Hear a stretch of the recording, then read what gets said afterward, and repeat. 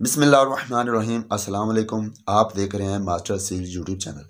अगर आपका कोई असील परिंदा सुस्त सा रहता है, बीमार महसूस होता है, अक्सर उदासी उस पर रहती है, उदास सा खड़ा रहता है, आपके असील की रंगत, उसकी जिल्द की रंगत बेरौनक सी हो गई है, चेहरे पे उसकी बेरौनक जो चेहरा है, वो नुमाया है और उसकी बीट की बात करें, पूप की बात करें तो पूप या तो पतली है या उसमें खून आता है, असहाल का शिकार रहता है। तो ये सारी अलामत इस बात की तरफ़ इशारा है कि हो सकता है कि आपके परिंदे की इंटेस्टाइन्स मतलब अंतड़ियों और गीजड़ मतलब बड़े पोटे में कीड़े हों वर्म्स हों। तो ये इस सिचुएशन की अलामत हैं। अगर आप ऐसा महसूस करते हैं कि आपके परिंदे इन अलामत की वजह से आपके परिंदे बीमार लगते हैं, उनमें ये अलामत ज़ाहिर हो गई हैं तो फिर आपको अपने परिंदों को डिवॉर्म करना चाहिए, उनकी डिवॉर्मिंग करना ज़रूरी हो जाता है। ये डिवॉर्मिंग का प्रोसेस अगर आप हर 80 से 90 दिन बाद करते रहें तो आपके परिंदे वर्म्स का शिकार नहीं होंगे। आपके परिंदे वर्म्स का शिकार असल में खुराक के ज़रिए आलूदगी जिसम के अंदर दाखिल होने की वजह से होते हैं, या अगर आप कंटेमिनेटेड वाटर परिंदों को दे रहे हैं, आलूदा पानी दे रहे हैं, आलूदा खुराक दे रहे हैं, या अगर आप परिंदों को पानी तो साफ़ दे रहे हैं, खुराक भी साफ़ दे रहे हैं, बर्तनों की सफ़ाई भी आप रखते हैं, सारा कुछ ठीक है, लेकिन इसके बावजूद भी उनमें चांसेस होते हैं कि उनमें वॉम्स आ जाएँ, उनके जिसम में, उनकी अंतड़ियों में, उनके घीजड़ में। तो वर्म्स आ जाना, ये उनमें ज़्यादा चांस है क्योंकि अक्सर उकात होता ये है कि आप अपने परिंदों को जो दाल दाना कोई अपनी खुराक देते हैं उनको तो वो खुराक खाने के दौरान नीचे गिरती है, वो डस्ट आलूद हो जाती है, उसमें आलूदगी आ जाती है, बीठों के ऊपर गिरती बीठों के असरात उसके अंदर बैक्टीरियाज वगैरह शामिल हो जाते हैं और वही खुराक जब बाद में परिंदा चूँच मारता है, खाता है तो वो खुराक जो कि बैक्टीरिया वाली है, जरासीमों वाली है, वो जिसम के अंदर जाती है तो वर्म्स की जो है, सूरत इख्तियार कर सकती है। तो इसलिए डिवर्मिंग करते रहना चाहिए अस्सी नब्बे दिन के बाद। आपका परिंदा का जो मेन डाइजेस्टिव सिस्टम है, निज़ाम नज़ाम है वो डिस्टर्ब होता है। वो किस तरह से मैं आपको इसकी थोड़ी सी तशरी कर देता हूँ कि निज़ाम हज़ाम में तीन चार मेजर आर्गन्स हैं। पहले नंबर पे मेन पोटा है जो गले के नीचे होता है, यहाँ पे पोटली होती है पोटा। पहले नंबर पे खा, खाने ने वहाँ पे कुछ ना कुछ हजम होना होता है। उसके बाद आगे मेन गीजर भी होता है बड़ा पोटा होता है जो जिसम के अंदर होता है वहाँ कुछ ना कुछ ग्राइंडिंग होनी होती है। खुराक की ग्राइंडिंग होती है पीस पीसना होता है। और मेन जो डाइजेस्टिव का सिस्टम है जो मेन निज़ाम हज़ाम का मेन जो प्रोसेस है वो अंतड़ियों के अंदर होना होता है। अंतड़ियों की वॉल्स अंतड़ियों की जो झिल्ली है उसमें अल्लाह पाक ने ऐसी एक खूबी रखी है खुराक के अंदर जो ताकत वाली अज्जा हैं, जो एनर्जी है, उनको सक करती हैं ये अंतड़ियाँ। अंतड़ियों ने खुराक में से ताकत को सक करना होता है। खुराक में कई किस्म की एनर्जी शामिल होती है। वो मुकम्मल, उसमें से ताकतवर चीज़ों को सक करना जो काम है, ये अंतड़ियों का है। वो सक करके वो मुतलका जो आगे ऑर्गन्स है, वहाँ भेजती हैं, लेकिन ये काम होता अंतड़ियों में है। और खुराक बाकी जो बचती है, वो ज़ाया है, उसमें किसी किस्म की ताकत नहीं होती, वो वेस्टेज होता है। लेकिन अगर अंतड़ियाँ खुद डिस्टर्ब उनके अंदर वर्म्स हों, उनके अंदर कीड़े हों, और कीड़े हमेशा अंतड़ियों की झिल्ली के साथ चिपके होते हैं और वहाँ से खून चूसते हैं, क्योंकि क्यों, कीड़े भी पैरासाइट्स हैं, ये खून चूसते हैं और वहाँ पे इन्फेक्शन पैदा करते हैं। अंतड़ियों के अंदर ज़ख्म हो जाते हैं, अंतड़ियों के अंदर सोजिश पैदा हो जाती है, अंतड़ियों की वॉल्स डिस्टर्ब हो जाती हैं, और वो खाने के अंदर से वो ताकत के अज्जा जज़ब करने से कसर हो जाती हैं, या तो मुकम्मल तौर पर वो खुराक में से ताकत को जज़ब नहीं कर पाती, या करती हैं तो बहुत कम मकदार में ताकत सक करती हैं। बाकी जो खुराक के अंदर ताकत होती है, वो बीट के साथ ज़ाया हो जाती है। मतलब प्रॉपर बीट भी करते हैं परिंदे, लेकिन उसमें ताकत सक नहीं की होती, वो खुराक ऐसे ही निकल जाती है।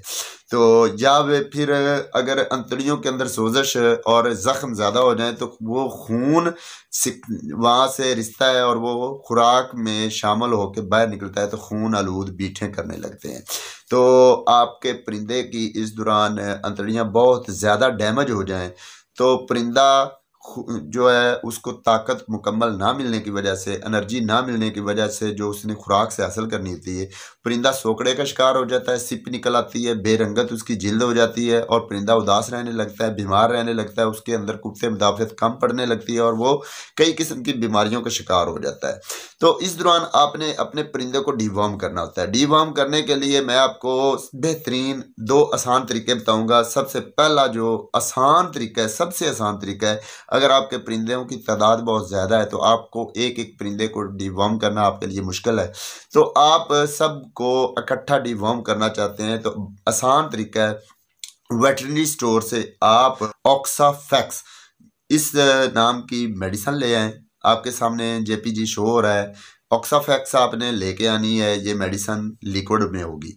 ये आपने अपने परिंदों को ऑफ़र करनी है। आप अपने परिंदों के, बड़े परिंदों की तादाद गिन लें अगर आपके परिंदों की तादाद दस है तो आपने एक लीटर पानी डालना है। एक लीटर पानी के अंदर दस एमएल ये जो ऑक्साफैक्स है, इसको पहले हिला लेना शीशी को। उसमें से 10 एम मेडिसन निकाल के एक लीटर पानी के अंदर ये इसे हिला देना है। हिला के परिंदों के आगे रख देना है। सारा दिन वो पीते रहें। जब तक ख़त्म नहीं हो जाता तो आपके परिंदों की डिवॉर्मिंग हो जाएगी। ये आपने एक दिन प्रोसीजर मुकम्मल करना है, उसके बाद आपने दस दिन बाद इस प्रोसीजर को दोहराना है।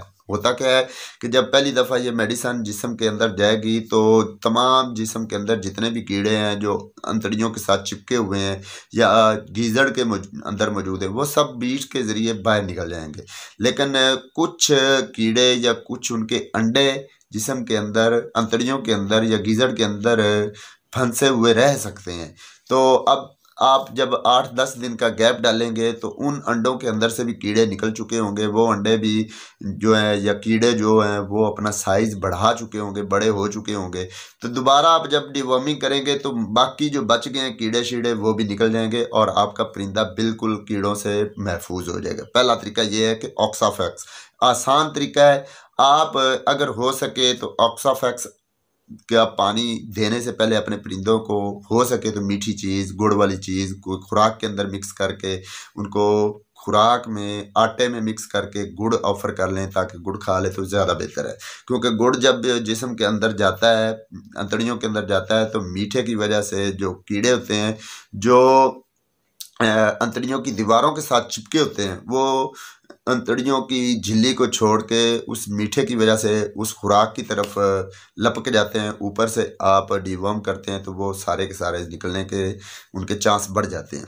तो ये पहला तरीका है ऑक्साफैक्स का इस्तेमाल। अगर आपको अपने इलाके में ऑक्साफैक्स नहीं मिल रही, आपका वट, नज़दीक वेटरनरी स्टोर नहीं, आप कहीं दूर दराज गाँव के इलाके में रहते हैं तो वेटरनरी स्टोर नहीं है, वेटरनरी की अद्वियात आपको बसानी मैसर नहीं है तो आप कोई और तरीका इस्तेमाल करना चाहते हैं तो उसके लिए आपने किसी भी मेडिकल स्टोर पे जाना है, वहाँ से आपने जेंटल नामी एक सिरप होता है बच्चों का, वो आपने लेके आना है। इसमें साल्ट जो होता है वो है अल्बेंडाजोल अल्बेंडाजोल इसके अंदर साल्ट है जेंटल के अलावा भी आपको कोई और भी इसमें सिरप मिलता है अल्बेंडाजोल के अंदर। इसी फार्मूले में तो वो और भी ले सकते हैं। इस एक शीशी के अंदर 10 एम टोटल खुराक होती है। तो ये खुराक 10 एम है और ये दो मुर्गियों को आपने देनी होती है। दो मुर्गियाँ जो नॉर्मल एज की हैं।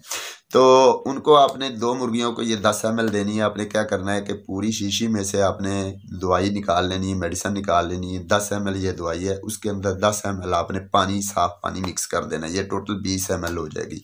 बाकी जो शीशी छोटी बची, उसमें भी पानी आपने अच्छी तरह हिला के वो भी दवाई निकाल लेनी किसी और बर्तन में। अब दस एम पानी है, दस एम इसके अंदर, मेडिसन है, टोटल बीस एम है। आपने किसी सुरंज के आगे पाइप लगाया हुआ हो, वो आपको तरीकाकार पता ही है अगर आप असील शौक करते हैं तो आपको ये तरीकाकार पता ही है कि सुरंज के आगे पाइप लगाया जाता है। तो दस एम आपने उसमें से पानी और खुराक वो पानी और मेडिसन, वो मिक्स किया हुआ सोल्यूशन जो है, उसमें से 10 एम निकाल के एक मुर्गी को और बाकी 10 एम दूसरी मुर्गी को आपने पिलाना है। ये आपको एक एक मुर्गी के अलग अलग पिलाना पड़ेगा, इसमें थोड़ा सा दिक्कत वाला काम है, मुश्किल काम है। तो इस तरह से आप अपनी मुर्गी को डिवॉर्म कर सकते हैं। अगर इस दवाई से भी पहले आप, दस मिनट पहले आप अपनी मुर्गियों को काला गुड़, पुराना गुड़ खुला, खिला लें इतना इतना डायरेक्ट गुड़ खिला लें या आटे में मिक्स करके खिला खिला लें तो ये ज़्यादा बेहतर होगा। तो ये दो तरीके थे, इनके बेहतरीन नतज हैं। आप इनको आजमाएँगे तो आपको अच्छे नतज मिलेंगे। आप अपने परिंदों को हर अस्सी से नब्बे दिन बाद ज़रूर डिवार्म किया करें।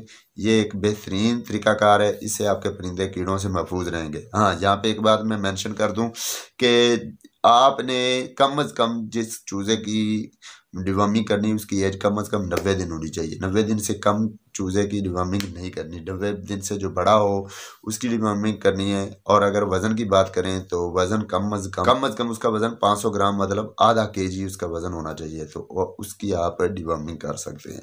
तो आज की वीडियो यहीं तक थी। उम्मीद करता हूँ आपको ये वीडियो पसंद आएगी। अगर पसंद आई तो लाइक, शेयर ज़रूर कीजिए। अगली वीडियो तक इजाज़त दीजिए। अल्लाह हाफिज़।